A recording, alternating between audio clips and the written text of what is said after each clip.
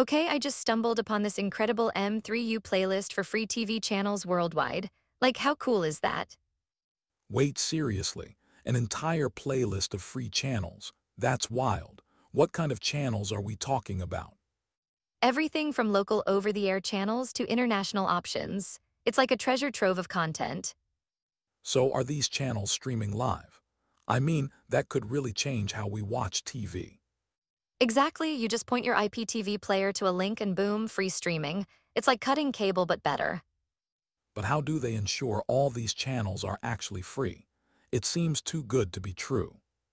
That's the catch. They focus on channels that are officially free in their respective countries, not just anything goes.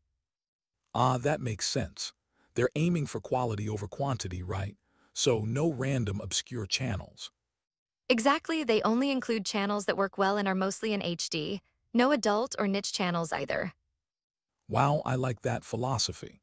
It's like curating a playlist for your favorite tracks, but for TV. Right, and think of the implications. It democratizes access to entertainment globally. Totally, but how do they manage to keep everything updated? That seems like a big task. Good point. They rely on community contributions and source updates from various platforms like YouTube. That makes sense, but what if a channel goes down or changes? Is there a system for that? Yes, they encourage users to report issues, which is quite efficient for maintaining the playlist.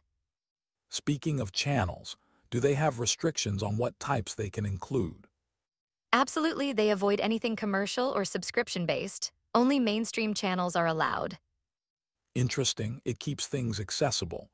But does that limit the variety? It could, but it also means everything included is more likely to be watched by everyone. That's a fair trade-off. Also, I wonder how they handle geo-blocking if channels are restricted regionally. Great question, they mark those channels so users know which ones are geo-blocked. So if I'm in the US, I'd be aware that some channels might not be accessible. Exactly, it keeps expectations clear. Plus, a lot of users are contributing to keep it updated. How do you even contribute to something like this? Is it complicated? Not at all, you just create a pull request on GitHub with details about the channel. Sounds manageable, but what if I want to remove a channel? Is that a hassle?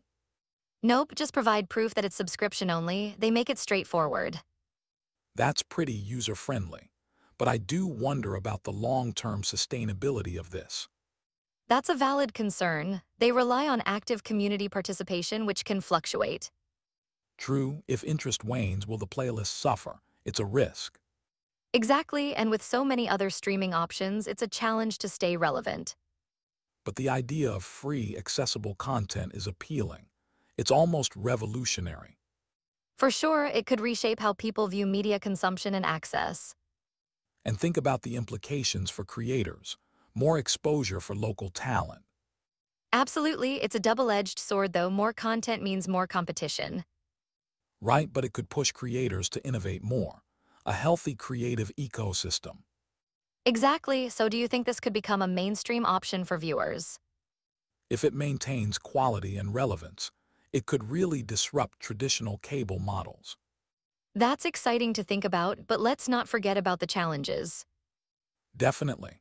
Balancing quality, accessibility, and sustainability will be key. So true, I guess the real question is, how far can this go? And what barriers do we need to overcome to make it a reality for everyone? Right, it's a fascinating journey to watch unfold. I'm definitely curious. Same here, I can't wait to see how this evolves. It's just the tip of the iceberg.